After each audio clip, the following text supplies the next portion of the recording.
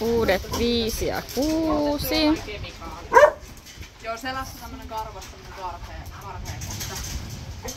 Tämä siis kyllä siinä on viisi ja vislan näköinen ja sitten tämä enemmän Saksan seisoja on uusi numero kuusi.